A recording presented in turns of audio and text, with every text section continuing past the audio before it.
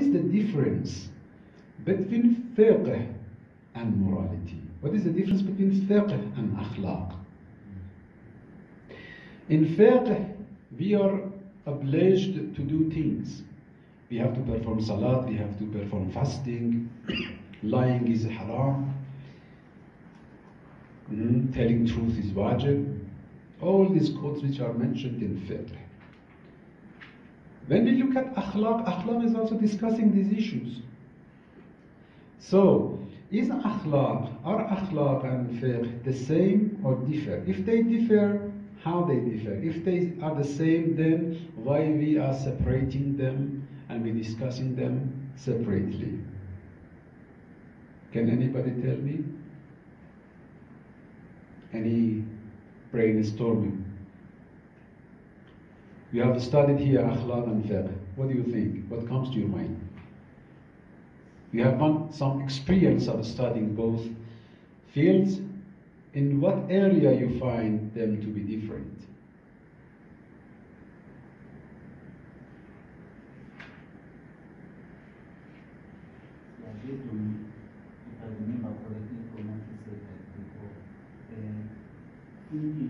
Maximum relationship cannot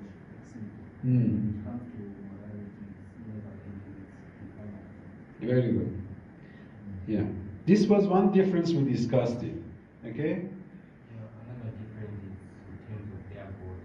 Like Mm. we go deep about the reward, like their Mhm. for morality to for the nearness, like Allah. Yeah. So one difference was the goal. In the fiqh, what we are looking for is to obey the commands.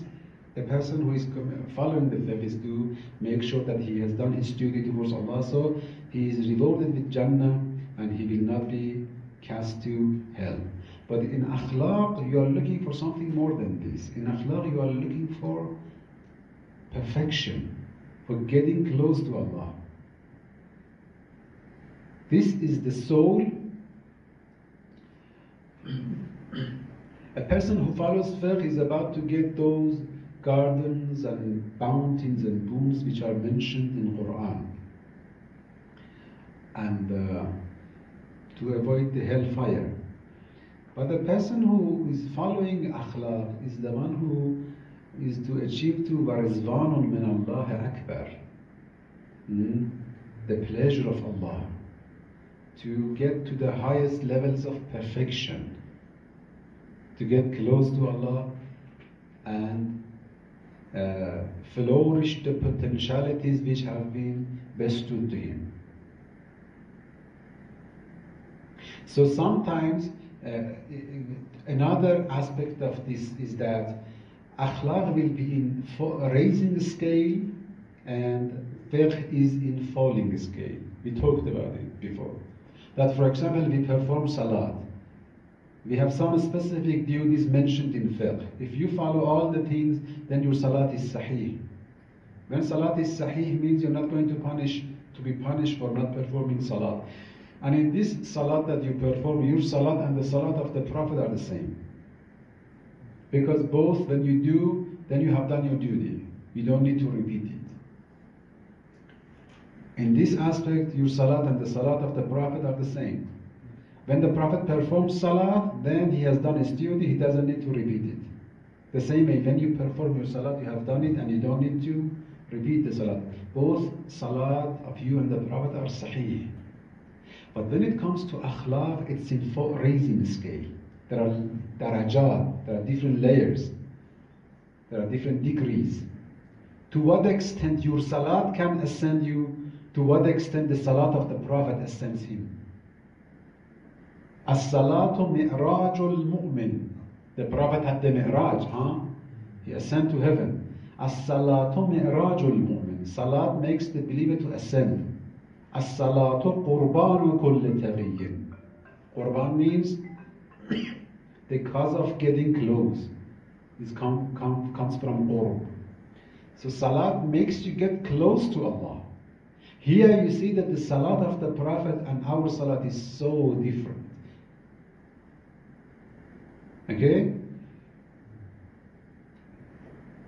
And uh, then you can answer so many questions.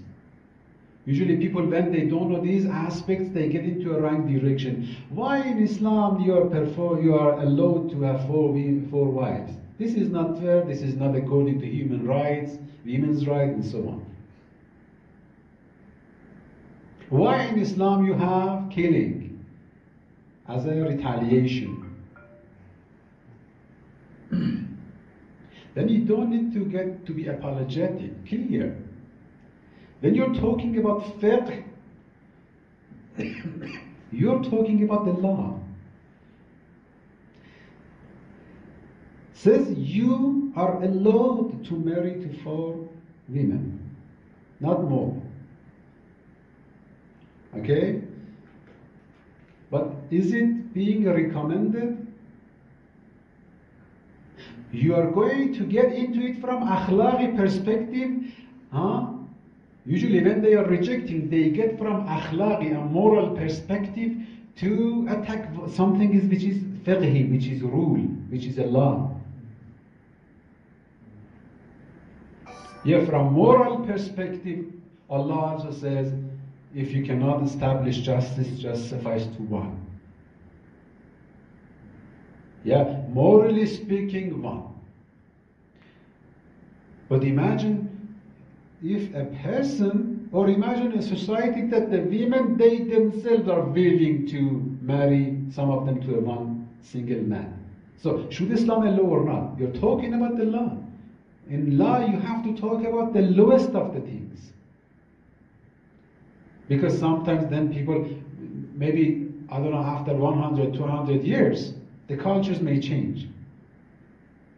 You know, there was a time, I remember, in the uh, uh, uh, books I read in, in France, there was a time that they used to the, the priests when they talk attacked Muslims. You see, they said we we do not get married, so we have kind of mortification, and the Muslims get married. So they have kind of mean appetites in their life. So we are so clean. And now the culture is changed. They say, okay, you see, they limit you, their, your relations. They limit your relations and we do not limit you. So cultures may change. Maybe after 100 years, somebody may come and ask you, why four? We want to have five. So these things, the culture changes. But what is there as the law? Law is in the falling scale. Law deals with the, the worst condition, but morality, no.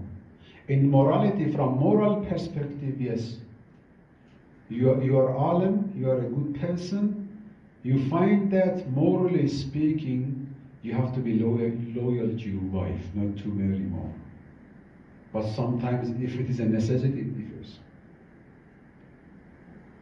When it comes to law, if somebody killed another person, do they have the right to retaliate or not? Fiqh says yes. But akhlaq says, if you forgive, it's better.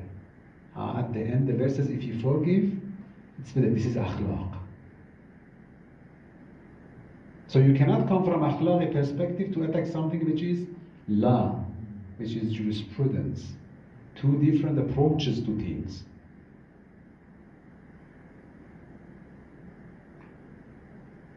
Okay?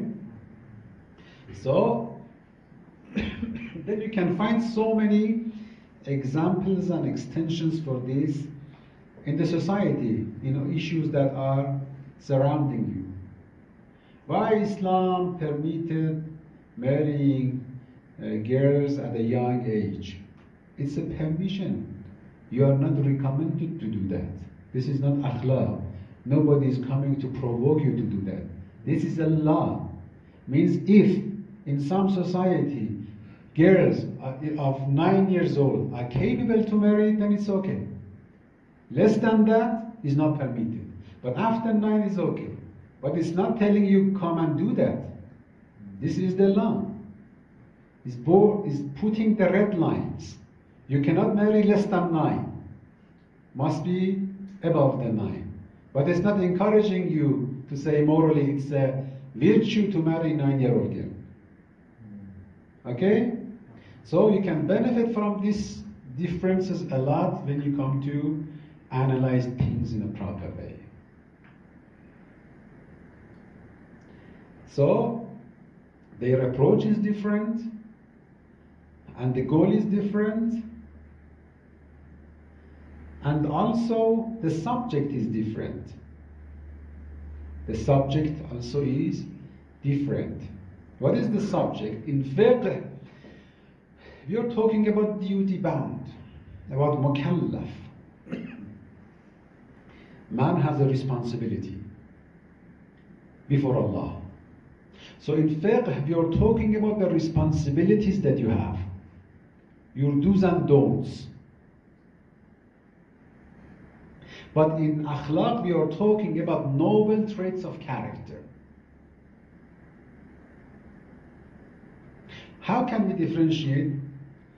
They say, imagine if a person who never lies, if there is a person who never lies, he happened to tell a lie. He happened to tell a lie. We can discuss it in fiqh, but we cannot discuss it in morality. Why? Because this telling lie for one time, it's an act, it's a deed. You can talk about it in fiqh. It is halal or haram, say it's haram. But you don't talk about it in morality. Why? Because this is not coming out of his soul. His soul is against telling lies. His soul is trained in a way that he always tells truth. So it is accidental that he told a lie. This deed is not coming out of a character. It's not a quality in his soul. Okay? Of course, akhlaq is talking, when it talks about deeds, is talking about deeds that purify your character. So morally speaking, even it's not good to tell a lie for one time. But anyhow, something which is accidental, a person who is very uh, mean person, a very mean person, but some, all of a sudden, once in all his life, he is to be generous and give something to some people. This is not a moral act. It is not raised out of a character. He, in his character, is a mean person.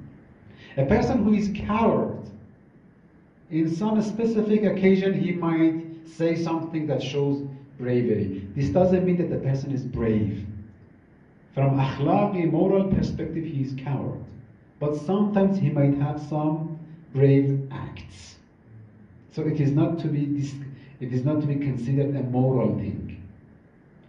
It is accidental. But it can be discussed in fiqh. Because it is an act that a mukallaf did.